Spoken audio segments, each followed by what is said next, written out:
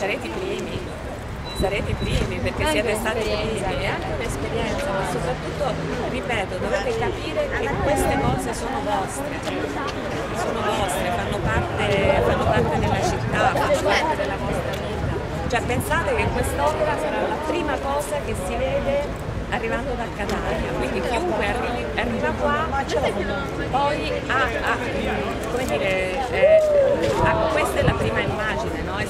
sarà un'immagine di luce, l'opera si chiama Luz, quindi si comincerà a pensare al cielo non come a un luogo cupo, ma come a un luogo di luce. Quindi voi siete tutti presettati per. Eh,